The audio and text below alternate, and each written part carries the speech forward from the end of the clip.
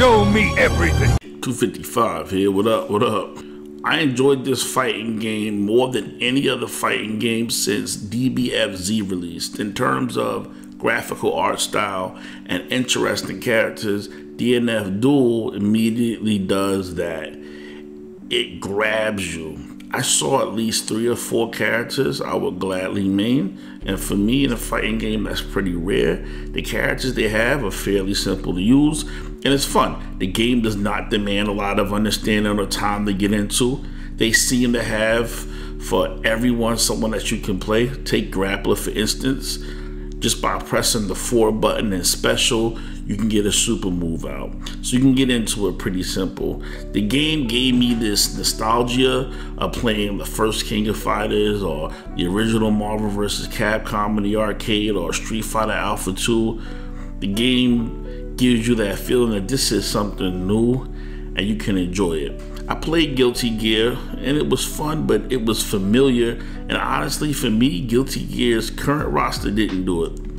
I enjoyed the game, but what keeps me playing fighting games is having characters I enjoy playing or I can identify with. And DNF Duel does that better than any other game currently out except Dragon Ball FighterZ. But since Dragon Ball FighterZ, this I feel like this is the next big thing, and it's gonna be special with the DLC and if I mean they could even add a tag mode if they wanted to, but the game is so fun you don't even need that. If Street Fighter V Definitive Edition or whatever they're calling it now in this last installment was like this at its third year mark, the way it is, like Street Fighter V is I would say is finally a fun game to play. But another video on that. But they took too long, five years into it. But I feel like DNF Duel has, is coming out with the hype that Street Fighter V currently has. DNF Duel, again, has it right from the start, and with the lore behind the Dungeon Fighters Online series, there may probably be a great single player mode. My favorite character currently is Grappler. He really brought it home for me. I love the new Ryu feel I get from him. His original grappler style uh, I love how his moves vary depending on how much you hold the button, get something different. So this reminds me of the best type of gaming systems.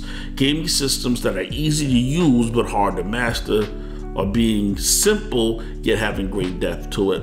It's not like Melty Blood that while being a great fighting game, it one lacks a diverse enough cast of characters for me to put in the type of memorization and practice that will be required for me to be somewhat decent at the game. And that's not even to mention dealing with your opponent's skills and learning their block streams and so otherwise the game is designed great and I love the anime style that it has to it but it lacks the characters necessary for me to greatly devote myself to it. All in all though, it seems like DNF Duel fixes those mistakes and it's looking to be the next big fighting game that rocks the FGC since Dragon Ball FighterZ. Yo, this is 255 out. One piece. Don't forget to like and subscribe.